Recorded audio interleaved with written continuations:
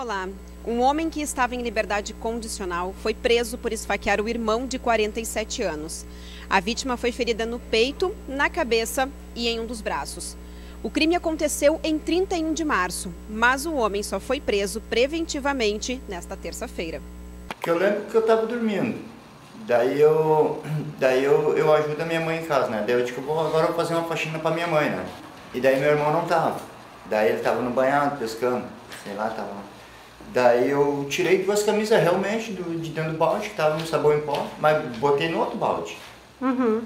E eu queria ocupar aquele, né? Porque era maior para fazer a faxina, né? Uhum. Daí ele chegou e não gostou, mas ele chegou, acho que, acho não, ele tava, tava bêbado, né? E, e me ofendendo, me ofendendo, e, e, e veio pra cima de mim, daí eu saí dele, né? Ele disse, oh, rapaz, que é isso? Não precisa causar esse transtorno que eu tirei tuas duas camisas, tá ali, cara. Mas daí, não, como ele não se contentou, ele pegou duas pedras e veio pra cima de mim. Daí eu também me apavorei um pouco e tinha uma faquinha de serra em cima da mesa. Isso é na frente de casa? Não, dentro de casa. Dentro de casa.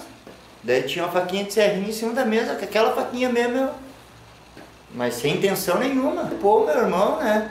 E o, e o, o passado ali, o que me condena no passado foi o meu passado, quando eu era. Hoje eu tô com 46 anos, quando eu, quando eu era guri, quando eu fui novo. Então, quer dizer, eu fiquei três anos semi-aberto ali, trabalhando, minha carteira assinada só em obra, assinada em obra, trabalhando, uhum. e um ano e pouco eu estou na condicional trabalhando também. Então, com certeza que me arrependo. E quando o senhor viu que ele tinha se machucado sério? Ah, deu, saí correndo, estrada fora. Não pensou em ajudar? Não, irmão? minha irmã estava ali também, coisa. Mas não foi questão que ele ficou caído no chão e coisa. Claro, com certeza foi errado que eu fiz. Mas não foi dizer facada, facada.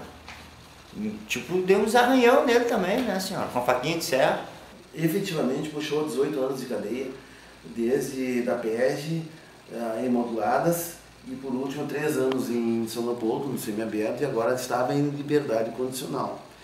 E esse é um motivo, eh, ele tentou matar o irmão dele por um motivo fútil, que é uma briga por causa de um balde. Mas a gravidade está justamente no motivo fútil, por causa de um balde, é, foi para cima do irmão, dando facadas no peito, cabeça e braço. Isso, inclusive, é, uma, é, uma, é um homicídio qualificado na forma tentada. O irmão de Odésio sobreviveu às agressões. O nome dele não foi divulgado pela polícia. Esse caso aconteceu em Novo Hamburgo, no bairro Rondônia, em uma residência localizada na rua Travessão. Este foi o destaque do Boletim NH News. Quer saber mais? Acesse o site jornalnh.com.br. Até mais!